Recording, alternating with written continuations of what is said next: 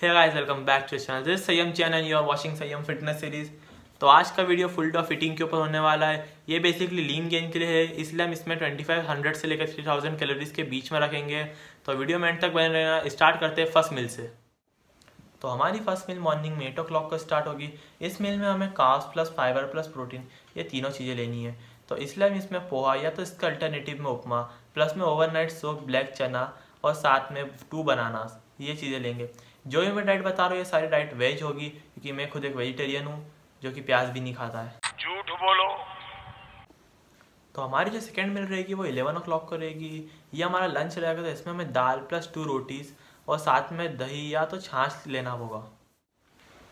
तो हमारी थर्ड मील हम वन पी को लेंगे। इस मील में हमें नॉर्मल कुकड राइस के अंदर ten to fifteen boil soya chunks मिला के खा लेनी है। इस मील से हमारी बॉडी को अच्छी लेवल में काप्स और प्रोटीन मिलेगा। हमारी फोर्थ मील हम फोर पी को लेंगे। ये हमारी प्री वर्कआउट मील होने वाली है तो इसलिए हम इसमें two bananas plus two bread plus में पीनट बटर खाएँगे, जिससे कि हमें जिम में एनर्जी मिले। तो हमारी फिफ्थ मील हम जिम से आने के बाद लेंगे अराउंड सात, साढ़े सात के आसपास। तो ये मील हमारी पोस्ट वर्कआउट मील है, इसलिए हम इसमें एक इसको वे प्रोटीन साथ में पनीर ऐड करेंगे। अगर आप एक वेजिटेरियन और वे प्रोटीन नहीं लेते हो तो आपको वे प्रोटीन लेना पड़ेगा। क्योंकि अगर आप सिर्फ़ नॉर्मल डाइट से अगर आप प्रोटीन पूरा करना चाहोगे तो आप प्रोटीन पूरा नहीं कर पाओगे डाइट से। इसलिए आपको एक स्कूप वे प्रोटीन लेना पड़ेगा दिन का।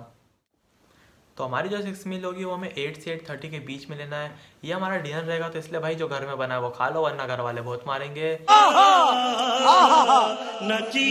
बस याद रखने की ज़्यादा ऑयली या ज़्यादा शुगर वाली चीज़ें ना खाओ।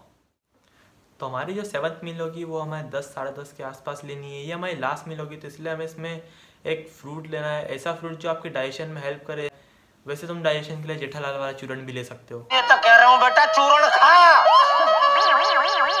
तो बस यार आज की वीडियो के लिए इतना ज्ञान काफ़ी था। मिलते हैं नेक्स्ट वीडियो में तब तक के लिए जय हिंद वंदे मातरम।